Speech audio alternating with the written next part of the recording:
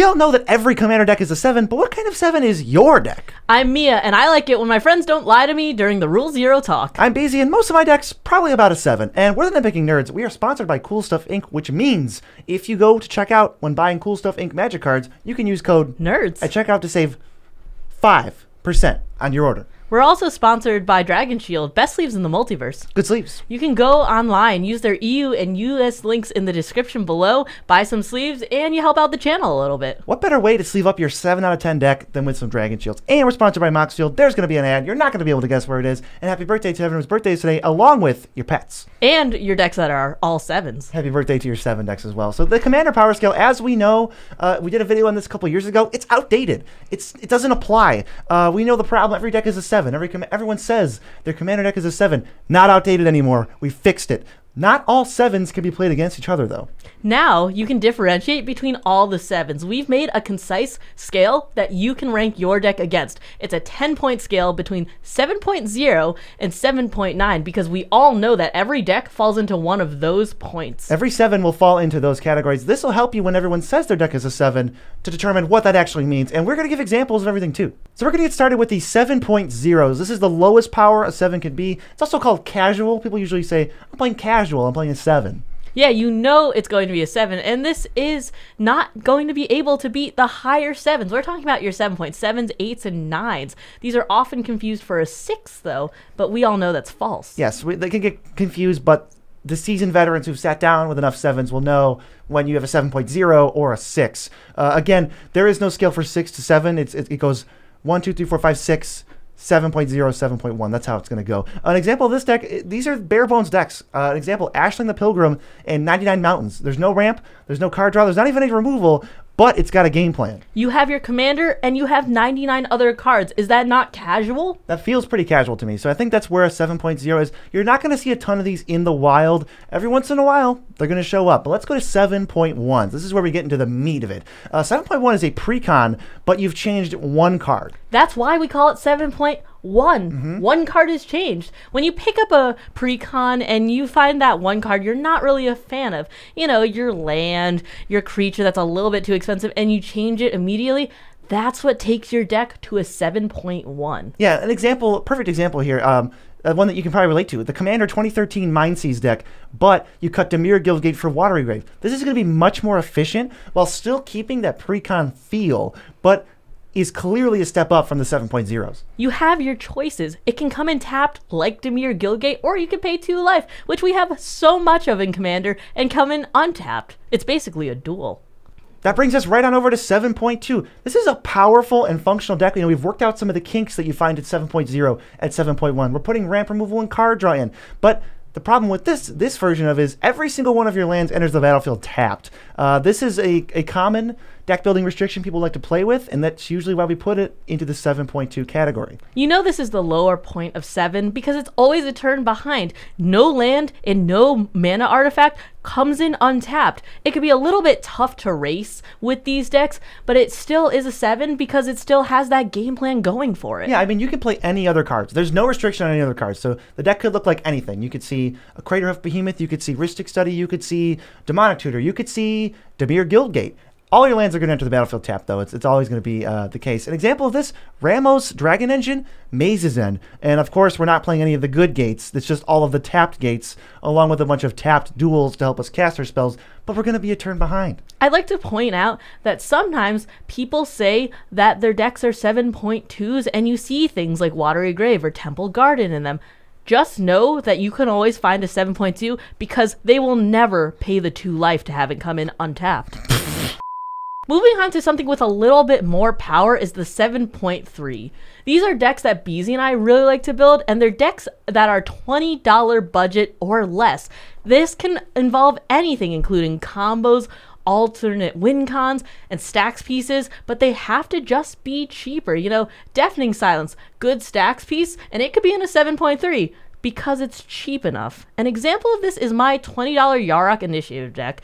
You're trying to power through dungeons, but the most important part is it's only worth $19.89. That's the defining feature of these 7.3s. You know, we said you could play combos of win cons and stacks pieces, but you don't have to. This is this deck is jank, and it wants to play initiative cards and venture into the dungeon. It just so happens to be one of many decks that fall into the $20 or less category, aka the 7.3s. You could see anything. You're just not going to see cards that cost more than $20. Absolutely not. Moving on to 7.4, the decks that are worth $20.01 or above, I mean, I guess, isn't every deck that isn't $20 or less at least $20.01 exactly? Yeah, I mean, I've never seen a commander deck in this category that wasn't worth exactly $20.01. So it's pretty slim. You're not going to see 7.4s that much. An example, um, my Ishkanah deck, which is not worth $20.01, so it doesn't fit that, that little outlier category. It used to be a 7.3. It used to be like $19, $18, but a couple cards went up in the deck, so now it's worth more than $20 and thus does not qualify to be 7.3. You got to keep track of this. Um, I think one way to keep track of that, though, is Moxfield.com. If you want to know whether your deck is a 7.3 or a 7.4, just scroll down and it'll tell you how much your deck costs. You can update to cheapest. Let, us say you didn't do that. You know, I put my Expedition uh, Watery Grave in this deck. Well, that means my deck's going to be a 7.4. But if I want to switch it out for the cheapest possible version of Watery Grave, or let's say a Dimir Guildgate, now my deck's a 7.3. If you, if you get my drift, Moxfield.com is the best way to help this. You know, I'm building a Hinata deck right now. It's $20. And I accidentally made it go up to a 7.4 because one card jumped up one cent and I was exactly at that $20 line. I mean, you want to start pub stomping. You know, when you try to have rule zero, people say, we're bringing 7.3s. You don't want to be that person who's accidentally bringing a 7.4. Exactly. So I made my changes using Moxfield. I could see the total at the bottom, and I made sure my deck was a 7.3. Yeah. Now, now we're going to get to 7.5, and this is probably the most controversial number in our sliding scale here. It's very middle of the road. It's pretty average power level. It's not too weak, but it's also not too strong. This is honestly where most decks are going to fall in the 7 scale, and it could be hard to differentiate between 7.5s. You know, we, we see this all the time. We have a lot of issues sometimes where people say, my deck's a 7.5, and you go, are you playing above $20? And they say, of course, but that, I'm not playing a 7.4. You know, this is really, really hard to tell. And when you have that rule zero talk, you just have to feel it with your heart. Mm-hmm. You have to understand that there's a lot of varieties of 7.5. And you just have to know that some of them are a little bit different than others. An example of this is Beezy's Balmor deck, which is fifty dollars, which obviously qualifies it above seven point four. Yes. Or my Atraxa Poison deck, which is worth about a thousand, I think. Yeah, yeah, yeah. So like my Balmor deck, you know, I'm trying to make out tokens, trying to pump them, trying to cast a few spells here and there, and then Mia's trying to play Glistener Elf on turn one and then proliferate eight times, uh, plus one, I guess, and then and everyone's gonna die you know, on turn like six. You know, those are just perfect examples of seven point five. I, I think, think these are I think these are both middle of the road. They're not ninety nine lands, and they're not what a seven point nine nine nine is gonna be, which we'll explain later.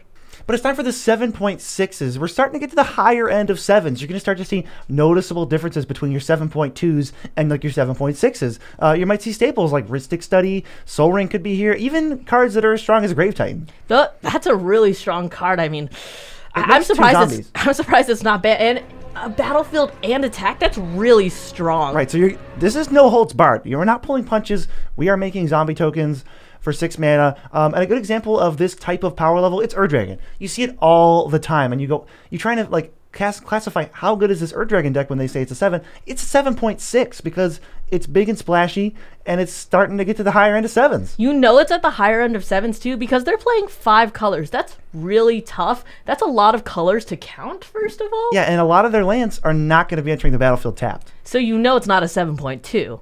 But these are the really, really higher end of Here seven. we go, yeah. 7.7. You can tell that these sevens are at the top end of sevens because they start to win around turn seven. Yeah, a lot of the lands in these decks are going to enter the battlefield untapped, maybe even all of them. Uh, Commander Precons cannot qualify. We're, we're past the point. They cannot be 7.7 or above. It's just not going to work, even if you upgrade them a little bit. But I'd like to point out that this is the only type of deck that has to be graded around its pilot. Yes. If you are taking a 7.7 deck and you are new to the game, if you've been playing for less than a year, it is immediately downgraded to a 7.6. Keep this in mind because a lot of new players come to us and they're like, hey, I want to build a 7.7. And we say, no, you're not ready. You can't. Uh, you have to play the game for eight more months before you can have a 7.7. Right now, sorry, kid, 7.6. When was your magic anniversary? If you can't tell me that and you say, uh, it was almost a year, it's a 7.6 and you know it. And so, so let's stop pub stomping, right? Like, this is an honest message. Like, stop bringing 7.7s to 7.6's tables if you're not a 7.7. You know what I'm saying? I mean, that's pretty easy to understand. For an example of this deck, I have a 7.7 deck. I have Dargo and Kydele. It's like a Cascade deck. And if you've been following along up until now, you'll know why it's a 7.7. It's because Dargo costs 7 mana. I mean, I think this makes it very obvious. You've been playing for at least a year and Dargo costs 7, so of course it's a 7.7. I, mean- I, think the viewers get it. Yeah, yeah. It could we start, don't need to it could elaborate. start winning the game on turn 7. You know the deal. Uh, we got to get to 7.8s, though. And this is where things get hairy. As you know, with 7.8s, nothing is better than a 7.8. You really can't beat it. Not going to happen. And the rule of 7.8 is the only card that is banned from 7.8 deck list is Thassa's Oracle. Everything else is legal. So there's there's no question about are we playing for fun? Are we playing to win? You're playing to win. There's no cards that are that are that are frowned upon except Thassa's Oracle. This is the only point in our in our scale here that has a card that's that's, that's considered banned in every in every uh, play group in every tournament. It's a very niche corner of the format. Actually, only 99.8% of all commander deck lists that have ever been built adhere to this rule. You know, the Commander Rules Committee really talked about 7.8s. It's actually a little subsection of their website. You have to go behind a few little tabs, but I think it's really important to notice that this is for 7.8s only. Right, yeah. So let's get to two examples. We actually have two examples. The first one is Selvala, Heart of the Wilds. Now, this is a green commander deck, so it can't have blue cards in it. And Thassa's Oracle is blue. So this must fall into a 7.8 as long as it's not $20 or less. Obviously, that would be a 7.3. Uh, so Selvala is going to be going to be going to be unable to include Thassa's Oracle. So any Selvala deck, whether it's casual, competitive, cutthroat, battle cruiser, Voltron, it's a 7.8. Absolutely. Another one is Winota, Joiner of Forces. It's also not blue, so it can't play Thassa's Oracle. Right. You know, there's only a, one difference between Winota decks at this point is basically just do your lands come in tapped or not? Because if they're coming in all tapped, it's a 7.2 as we mentioned before. But now because you know it's if it's if they come in if any land comes in untapped, it's a 7.8 because it can't run Thassa's Oracle. And then our last example here, we actually have three examples. Uh, Talrand Sky Summoner. Now, this is going to be a deck that doesn't have Thassa's Oracle in it. Theoretically, you would think you could play it, but if you're aiming for a 7.8, you can't include it. Any other card is fair game. Absolutely. Just because it can run Thassa's Oracle does not mean it should. And if it's, even though it's blue, you just shouldn't be running your Thassa's Oracles in 7.8s because then you're lying. And Right, lying is wrong. That's called king making, and we don't we don't do that here. Uh, time for the highest though among the seven scale. This is 7.9. Uh, you might not know what I mean, but it's almost an eight. So we basically we usually call it 7.999. That might sound more familiar, or some people call it CEDH, uh, which stands for competitive EDH or competitive commander. This is this is the highest power seven you'll ever see. This these have your stacks pieces, your partner commanders, your free spells, and your combo wins. This is aiming to win as soon as possible. And yes, of course, you can play Thassa's Oracle in here because it's above 7.8. Right. You just have to know that you're building a 7.9, and as long as you know that ahead of time, like with Moxfield.com, uh, I think they have an actually a button between what power level are you building in a seven scale. So Thassa's Oracle, it's legal again. Um, there's no holds barred. Uh, There actually is just no, there's no holds barred at all. Uh, an example of this deck, you'll see, you've heard about this a lot, I'm sure. Thrasios Tymna with Ad Nauseam, with Thassa's Oracle, with Demonic Consultation. Whenever one of these CEDH people is talking about this deck, they're referring to the deck that is a 7.9 out of 10. And you know, because Thassa's Oracle is in it, they just had to say Thassa's Oracle's in the second. You go, ah, a 7.99 you have on your hands. Right, right. So you might be wondering, okay, I've, I figured it out. I've got all of these scales from from 7.0 all the way up to 7.9. You're almost there, but you do need a few more uh, missing pieces. You're going to need the scales of 1, 2, 3, 4, 5, 6, 8, 9, 10, and we have that for you. There's the old Nitpicking Nerds power scale. I know it's a little bit outdated. It doesn't have anything, it doesn't mention any of these decimal points on the sevens, but you just have to kind of skip that, uh, knowing that you have all this information, and go check it out. I think it's going to be really helpful. Absolutely. And what's the tip for the day? Tip for today is never trust a seven.